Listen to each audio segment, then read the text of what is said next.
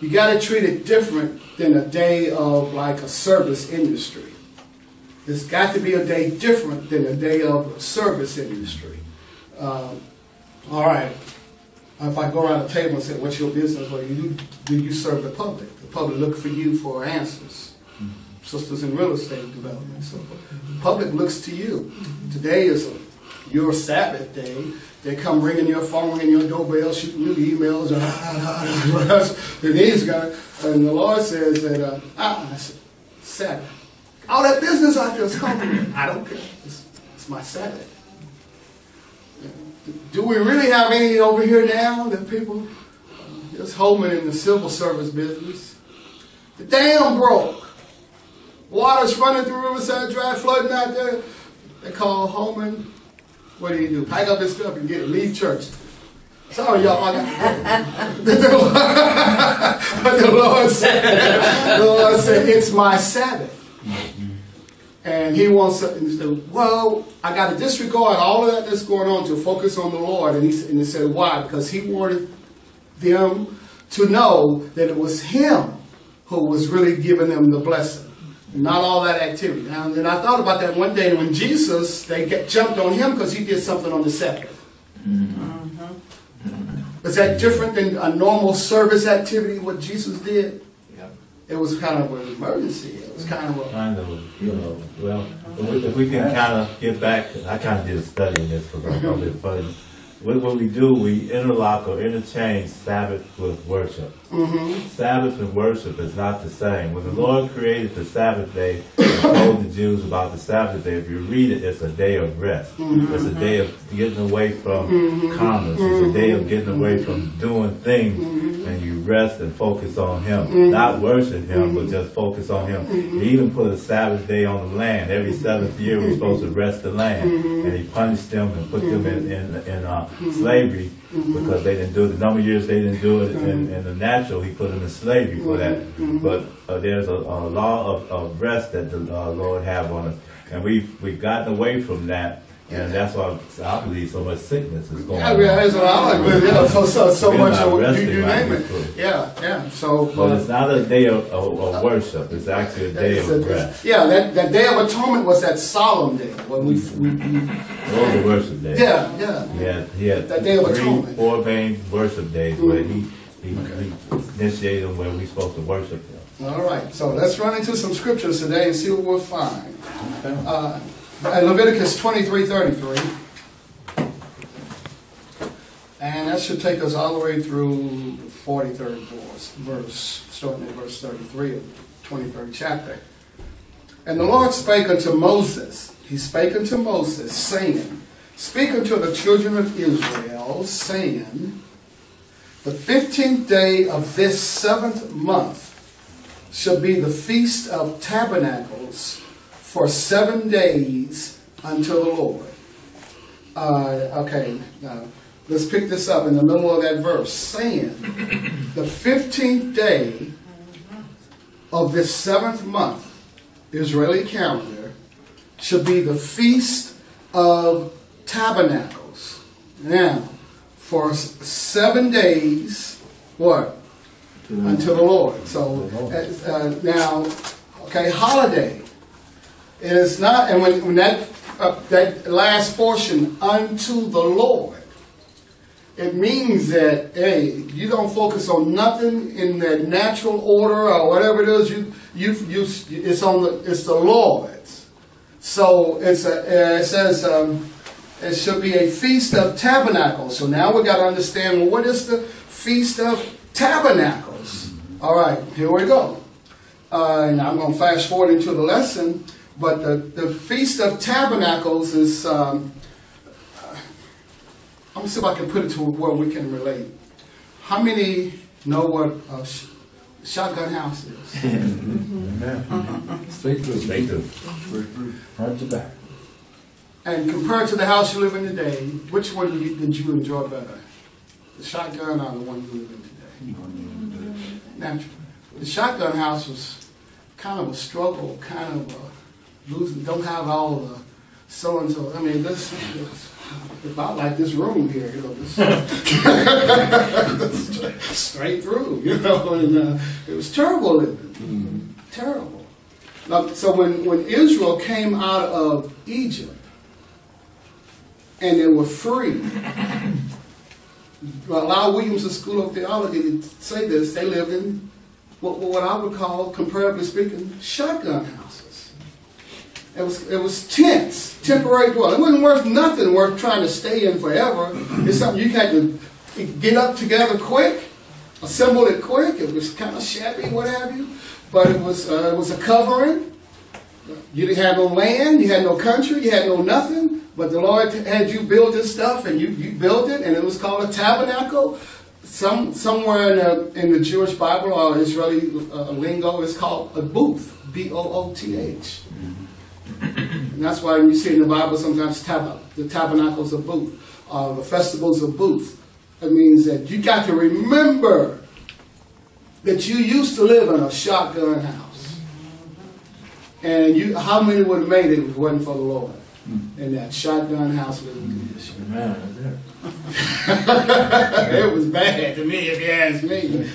I can describe, I can describe mine. I think they're all alike. Living room with a bed in it. Another room Kitchen. might be the bed in there. Then the next room, kitchen. Kitchen. That's it. Out, next thing you know, out the back door. Yeah. Here's our house. Uh, now, how many? Uh, you, you had families. You had so many people lived in, in that one type of house. Ten. That was miserable. Yeah. Man, I'm going. So in, in the Israeli, as they were coming up, uh, he, he says. Uh, he, so he says uh, here, um, the fifteenth day of this seventh month, you, you got to. We're going to call it a feast of those kind of living conditions. And seven days, you got to celebrate around those kind of living conditions. In other words, you got to go buy, build you another shotgun house and get in it and focus strictly on the Lord. How many can worship the Lord in a shotgun house? Amen. Better than you can in your 3,000 square foot whatever you got down with a swimming pool and deck and all this and all that. I'd rather be in the house I had in my 21st century house versus, but you mean I got to go back to that thing? Mm-hmm. He said, yeah. And you got to do it for seven days. So how many would like to go back to your old economic conditions and see if you can still worship the Lord? Yeah. And Not for a little while, but for seven days. Some, some of you sisters got to have a dishwasher. How'd they wash the dishes back then in the shotgun house? In the river? You got to live back that again for seven days. And you got to worship the Lord. Mm. And then he says on, on the first day should be what? You should do what? What kind of work? No work. Should be a holy. Go ahead and read that 35th verse if you will, please, somebody. On the first day shall be an holy convocation. Ye shall do no civil work therein. You should do no, no, none of that kind of, nothing else. That first day, sit in that house and think about the Lord. And for Israel, it was a tent, temporary structure, shabby thing. Just think about the Lord. Okay, so someone read verse 36 if you will. We'll keep on. So on, on that day, uh, there's, there's no no civil work to be Come on done. Brother Sonny. No, no kind of work like that to be done. That first day is strictly unto the Lord. And remember, it's, it's not a uh, solemn occasion, it's a celebration. So in that temporary tent, I'm moving back to that, as we call it equivalent to a shotgun house for us. You have to go in and uh, celebrate, have a good time. All right, now, okay, now, so um, let me read verse 36. Seven days you shall offer an offering made by fire unto the Lord. On the eighth day shall be a holy convocation unto you. Notice that we had seven, now on, on the eighth day, It should be a holy convocation, convocation unto you. I only heard that word in church done twice. Yeah. You should- you should offer an, an offering made by fire unto the Lord. Mm-hmm. Now that eighth day, it is a solemn assembly. And on that eighth day of all this celebration, you should do no work. Okay, how we coming out there? Pretty good? So these, these feast days was to honor the Lord. And uh, on the atonement, they had to eat the meat of the animal. That showed faith. Thank you. Uh, it showed faith if you did everything accordingly to the prescribed. That's why he spoke to Moses. If you did everything as God prescribed to you, it, it showed faith. It showed that you had faith in the God of Israel, the invisible God. These other uh, nations had festivals as well, feast days. Now, when Paul said to, uh, I think it was the Corinthians, uh, make sure that you eat no animal, watch how it has been sacrificed. Because rituals were the thing of the day back then. Now here's Israel, they had to eat the meat of this lamb. And they had to do some certain things with the blood. And when Jesus says about the communion, someone tell me what Jesus says about the communion. If you eat his, this, my body, drink this cup. But just think about the um, the heathens. When they when they did it, did they do it unto the Lord, or did they just do it to the, the sun goddess or the tree goddess? So you had to watch it yourself with rituals, because that, that was the thing of the day. So here, God um, made special days, occasions, holidays. He brought in a lot of them. And like I was said earlier, you, you thought it might interrupt the agricultural uh, industry, but he didn't care. He says, "Do do it prescribed manner on this day of the month, on this month, this day, do it, and make it last this many days." Would that fly today? Eliminating. No, no, because they say, hey, I mean, we've already got Martin Martin Luther King Day because uh, they said that, hey, it, it interrupts commerce and this and that. And, Oh, uh, just look at Sunday period. I can remember a day when nothing open. Nothing, nothing, nothing. Nothing open on You Sunday, should nothing do open no- on Christmas. you should do no, yeah, Christmas on no. Nothing, nothing. The only thing that was open on Christmas was the Jewish convenience store. Macy's. It's the only thing open on Sunday around here when I was a kid. Yep. It's not like that now. And don't, don't even mention, this is the Sabbath for Christians, Sunday, first day of the week. What kind of stuff's going on?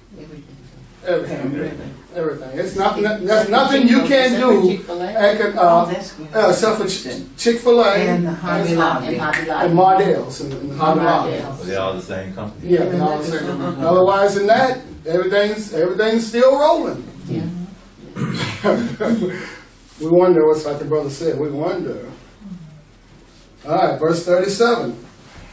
These are the feasts of the Lord, which you shall proclaim to be what? Holy. Convocations.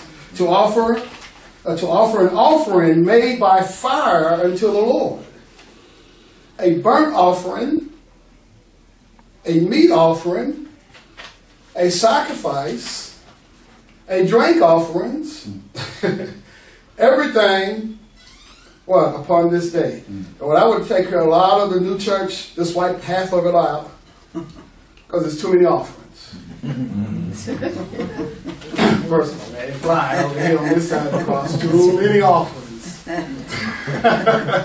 so, and if you really knew the significance of each and every one of these offerings, you would offer it up. Of course, it pointed, like Pastor spoke about Wednesday night, it pointed toward the redemption, the full final atonement work in Christ. Hallelujah. But they they had to offer it, that burnt offering.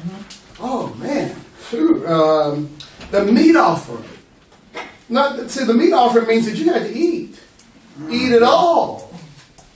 And if it ain't enough for y'all and y'all's family to eat, then you got to go find another family and invite them over, and y'all got to get that thing consumed in a specified time period. You just can't put it in the freezer and say, I'm coming back to it, I'm dieting and all this and all that. You had to eat. All right. All these offerings, beside the Sabbaths of the Lord. How many, the what? How many days do I have to shut down business? Sabbaths, plural. More than two. Mm-hmm. It could be first and third Sunday for the church age. Not necessarily. It could be this month, and it could be some days next month. Now, how many businessmen will say, "Look, I done shut down. I'm losing money." Who said I had to do all this? Moses was around. Moses said, "The Lord said you had to do it." Mm-hmm. If you're His child, mm-hmm. then you buck up and say, "I ain't doing. it. I got business to take care of." The- The reason why the the Lord did all of this is to remind them of what I brought you out of. Yes. And this is what a lot of saints don't, they forget.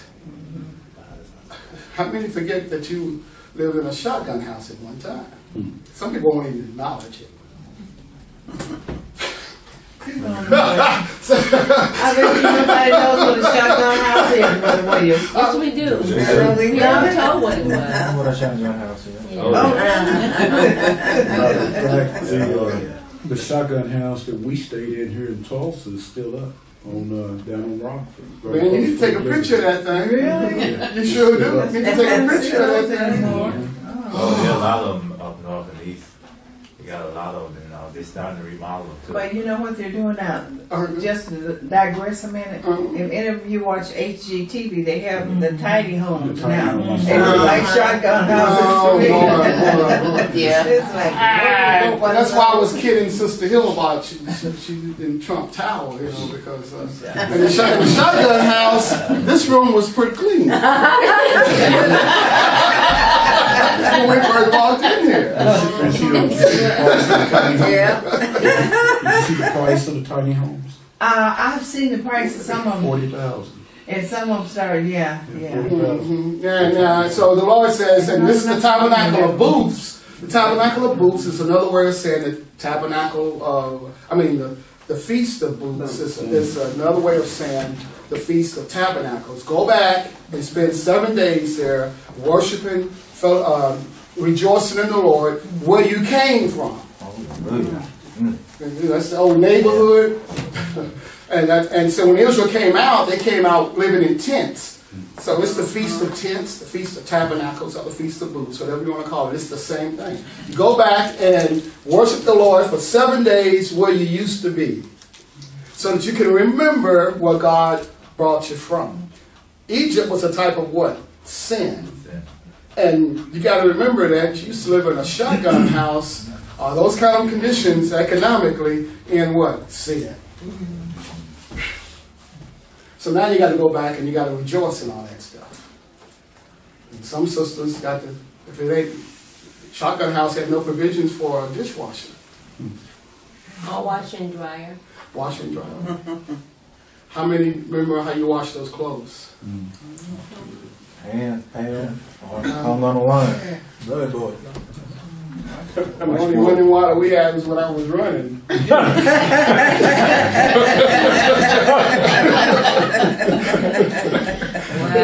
Now I'm gonna go back there and celebrate this. Okay, so, and, and offer up all these different offerings in verse thirty-seven. Everything upon this day, beside the Sabbaths of the Lord, and beside your what?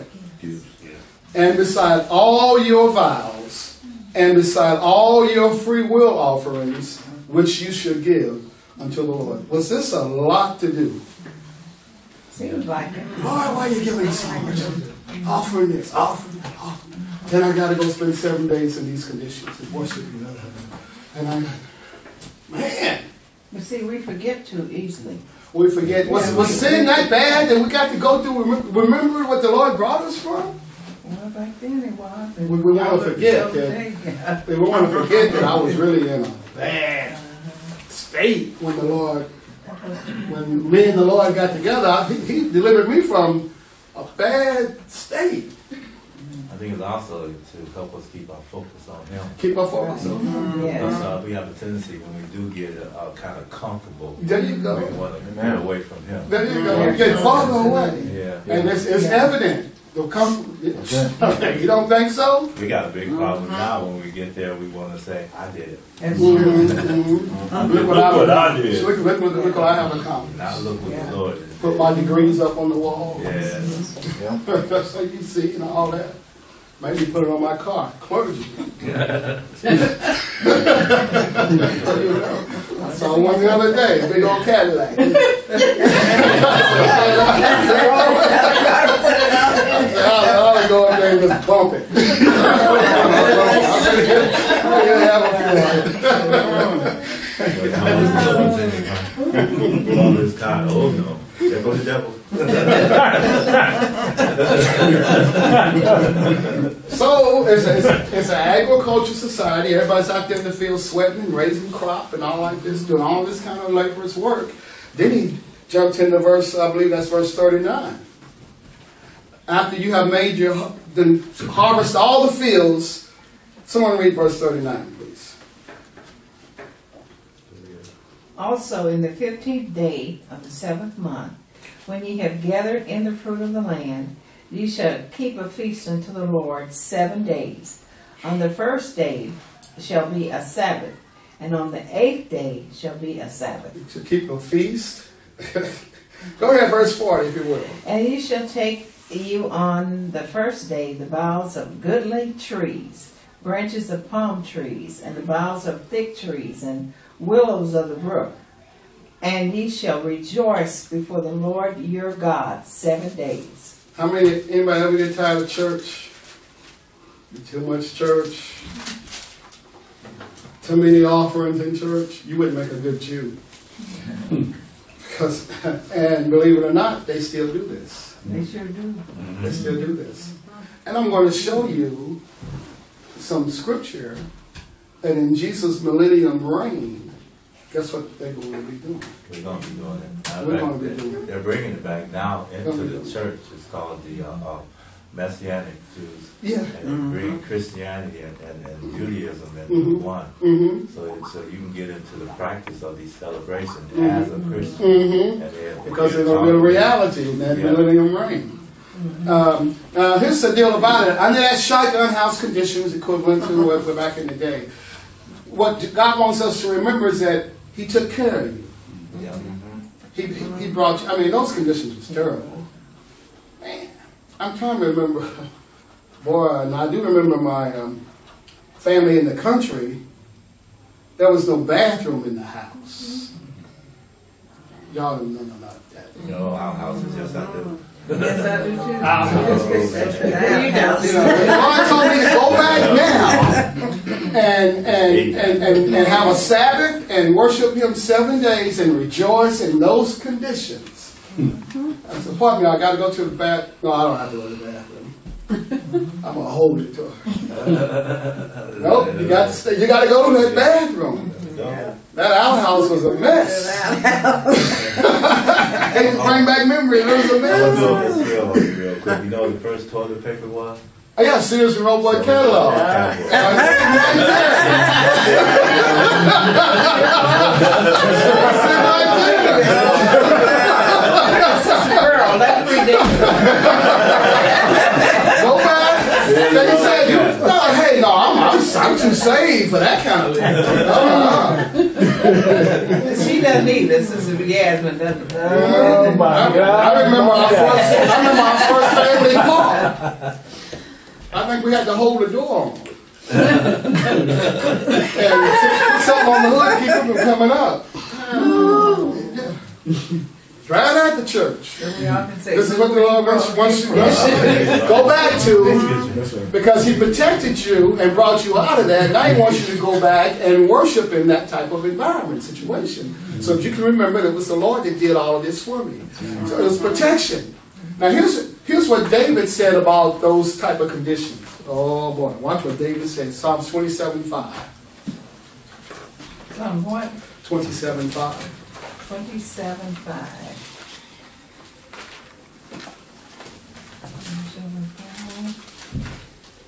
But in the time Mm-hmm. of trouble, Mm-hmm. he shall hide me in his pavilion. In the secret of his tabernacle shall he hide me. He shall set me upon, up, upon a rock. So in those type of situations, that, that, that type of living, God really had you covered. Had you protected. I mean, we should have been uh, flu, pneumonia, everything else in those. That wind coming through that shotgun house. One top, rain coming down from the top. well, how do we make? The The Lord was Yeah, protecting. That's right. I'm going to the outhouse and seeing And, snakes. and now all that, you know. No. What? You can hardly pay people to go back. You can't pay people to go back to those kind of conditions. Right. Mm. That we just won't do it. But the Lord says, go back, go back there. You gotta go back and you gotta. Why? Because He wants you to remember where He brought you out of. Yeah. Whoa, Lord have mercy. Look at uh, Psalms 31 20.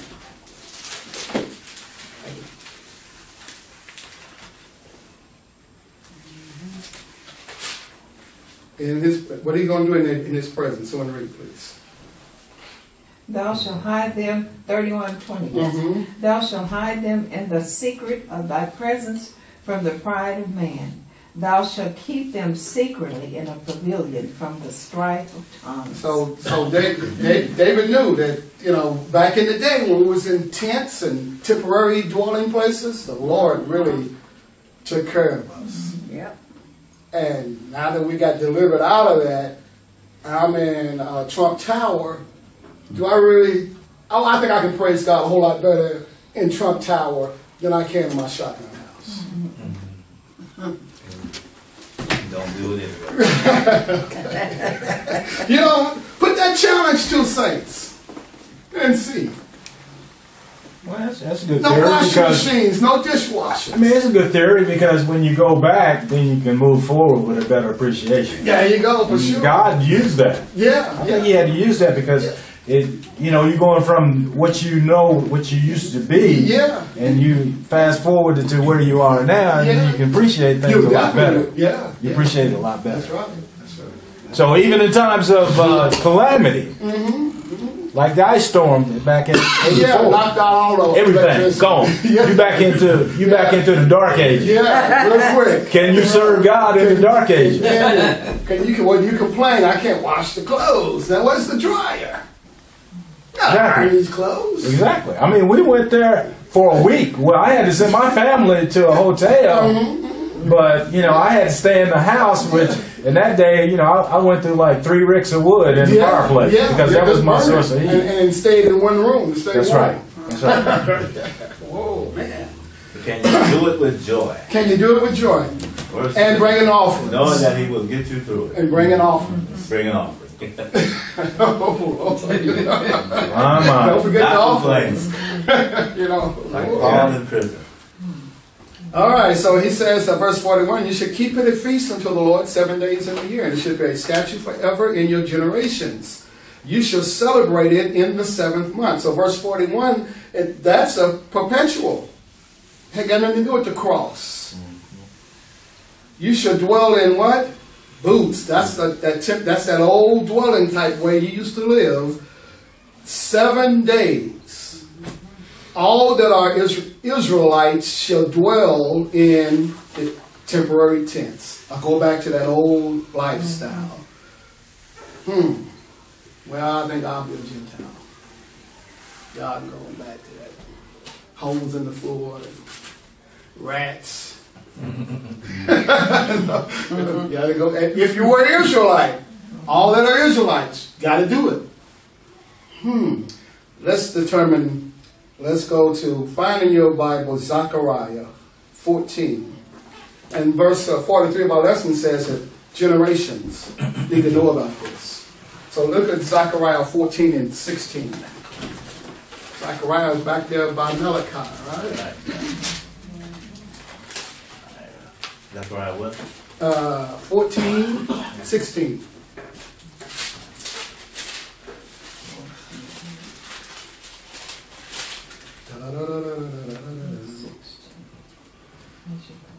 And I think this is going to throw us into the millennium. So someone read that if you will, 16 through 17.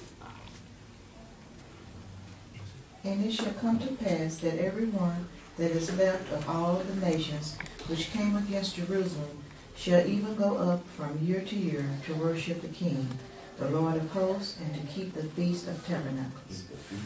Mm, read verse 17 too. And it shall be that whoso will not come up of all the families of the earth unto Jerusalem to worship the King, the Lord of hosts, even upon them shall be no rain. Mm. So you had to do it. And what he's Zechariah has leaped, I mean, To the future. he done yeah, he done leaped way out there. Yeah. And it says it's, it's gonna happen that those nations that are left, Millennium. you gotta you gotta go up and do just what the Feast of Tabernacles. He's saying if you don't do it, the Lord's gonna punish you. Hmm. I wonder what's his attitude about believers who don't have a Sabbath. And Brother um, Al started it this morning about this certain church that's really, so it's to us doing what he wants us to do, do this on the Sabbath, no, uh, exclude commerce, exclude all that service stuff that you do normally and have my feast and bring me my offerings and all this and all that. He says, You're doing it unto the, the Lord. But man has a what attitude or makeup and say, Don't inconvenience me. Don't inconvenience. Self-centeredness. And, uh, oh man, well, I better keep going. Let's see here. All right, let's see here. Verse 19 of Zechariah. There should be the punishment of Egypt and the punishment of all nations that come not up to keep the feast of what? Tabernacles. Whoa. So, you know, in Israel, they just had these temporary tents that they built and took down everywhere they go. Can you imagine how they look like? Up and down, up and down, up and down. They need to go back and live in that stuff. What they do now is build these little shacks on the side of their house with a Oh, palm really? on top. Oh, And really? they come out of their house and live in those little shacks for Oh, seven days. tell me about Yeah, they still do it. Oh, Oh, they do. tell They build about these little thirteen by thirteen uh, shacks. Oh. No convenience in there, just table, chair, Mhm. and a little stove to cook food on, Mm. and they have palm leaves on top of them. And they're supposed to hang certain fruit in there to represent certain things, and Mm. it's very ritual, but they still do it. Yeah, it's Still do it. ritual, ritualistic. Now, we as believers, do we have it easy over here? No. Actually,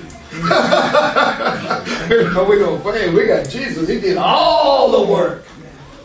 We Hallelujah. He did do all the work. What's your response to what he did? That's the big issue. What's your response to what he did for you?